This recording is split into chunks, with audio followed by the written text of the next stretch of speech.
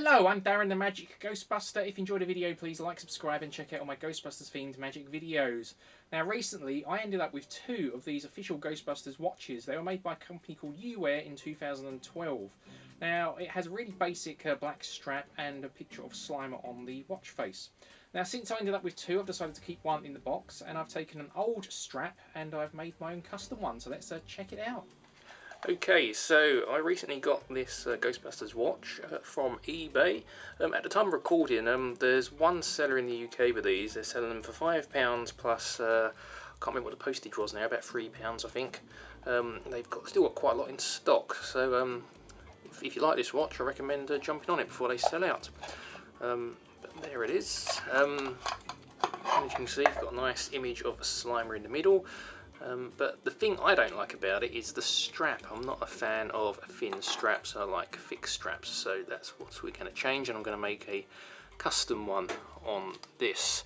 Um, now, luckily, um, the batteries that came with still work, but it's very easy to change the batteries. I'll just show you. I'm not sure what it's going to show on the camera, but there's a little uh, bit there, and if you just get a sharp knife and get that in there, the back just pops off. And uh, you all pull that out and the battery goes in there. So very easy to change the batteries. You don't have to spend a fortune getting that done. But anyway so onto the strap that I'm going to add. Now um, so I'm a fan of um, thicker straps. And um, there's a brand of watches I used to like uh, a company called Fossil. And they used to do um, these things in their shops where you could pick your strap and your watch face. Um, unfortunately, they don't seem to do the fixed straps anymore, but I used to love them. Um, and this one I've probably had uh, at least 10 years, probably longer actually. Um, unfortunately, part of it broke uh, a couple of years ago, but um, couldn't bring myself to get rid of it. But I did manage to find a new strap on eBay, different design, but a nice fixed strap. So I thought I'd use this for this new watch.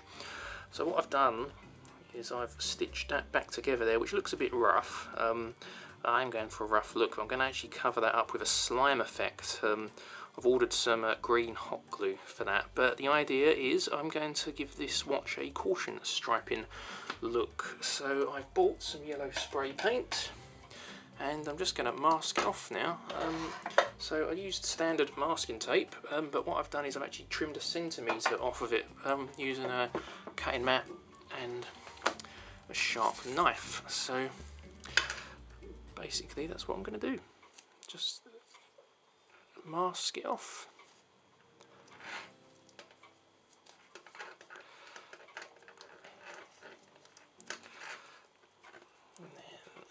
I'm going to do, I'm going to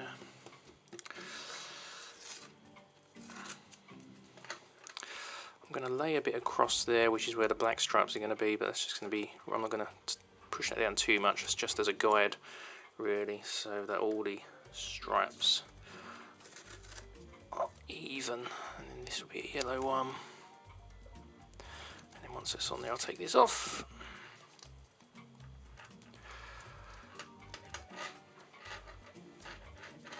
You will see these um, metal parts. Um, it's going to be a bit of a faff covering all those properly I think. So what I'll probably do is I'll probably um, thinking of just scratching the paint off once I uh, paint it. I don't think it will take too long.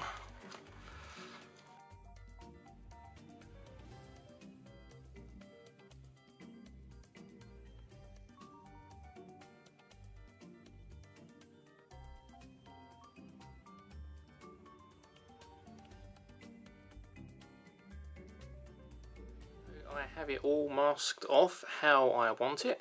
Um, I've put loads of masking tape on the bottom as well just to protect the, the bottom, the part that's going to come in contact with the skin. Even though I'm not spraying that from that direction, it's just to stop any little bits getting in there, hopefully.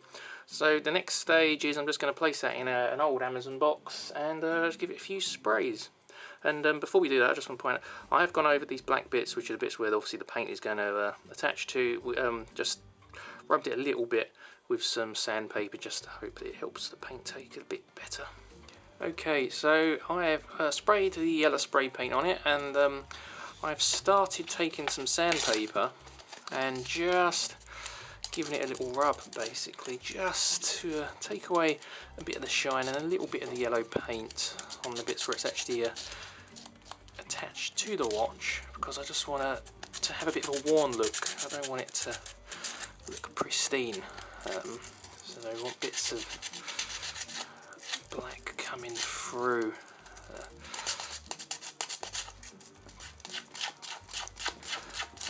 that is the look I'm going for. Obviously you might want to, uh, if you're going to do this, you might want a more pristine look.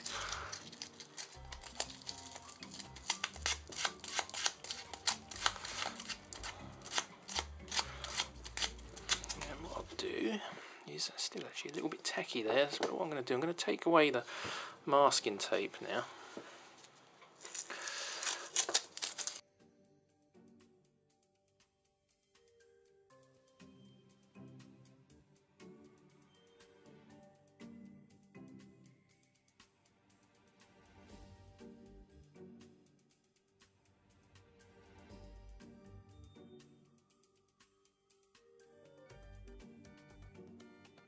So the um, yellow paint's a little tacky in a couple of areas, so I'm going to let that dry a bit more. But before I do, I'm going to take a bit of silver paint, which I've only had silver spray paint, so I've just sprayed uh, some of that onto a bit of tin foil, and I'm just going to add some silver to some of the edges, uh, just to add to that sort of worn Ghostbusters style look.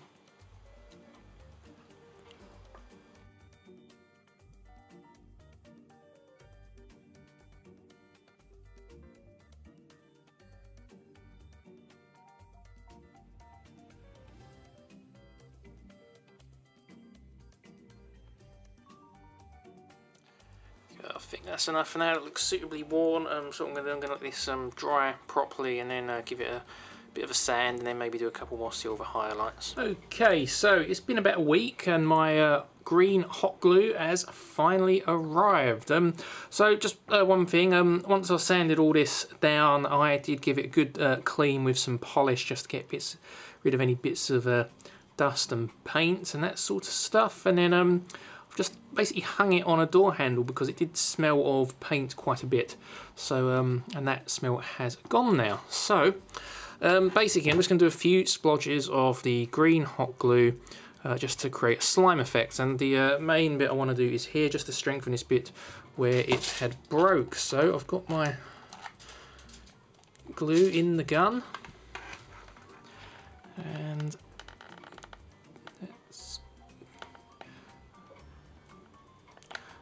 Doesn't have to be neat because we are going for a slime effect. So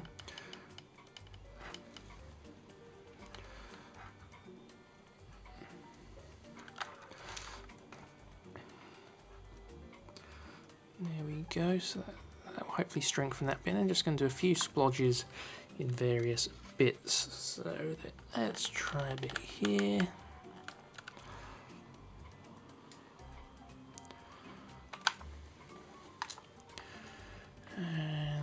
The watch is going to go there, so there's no point putting any there. Let's put a little bit on the end here.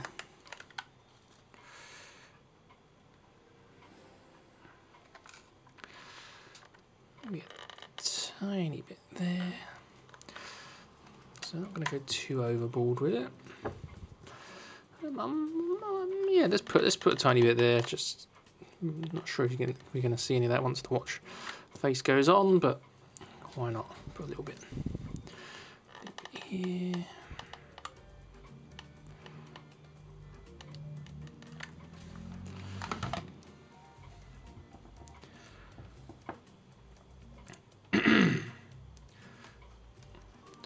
Shouldn't have done that, that was silly.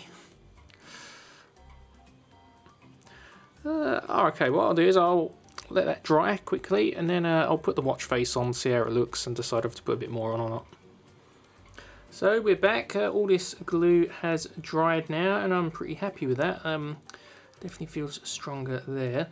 And let's put the, uh, the watch face on. So on this watch it's pretty easy, these just pull up.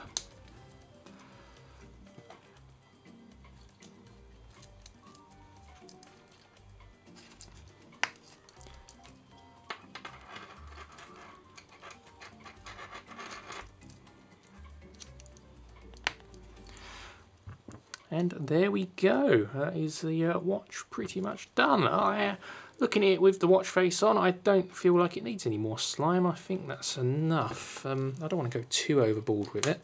Let's just put it on just to see how it looks.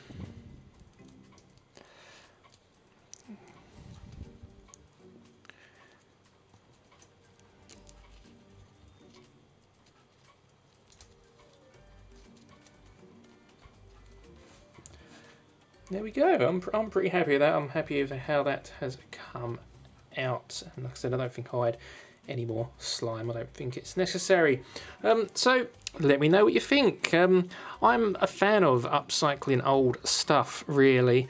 Um, like some of my favourite jeans uh, wore out years ago. I've done. I um, added like a Frankenstein effect to them just because I didn't want to get rid of them, and they come out really good. Or I did thought so anyway. But um, yeah, I'm happy with how this come out. So let me know what you think. Um, if you have one of these watches, would you put your own strap on it or change the strap?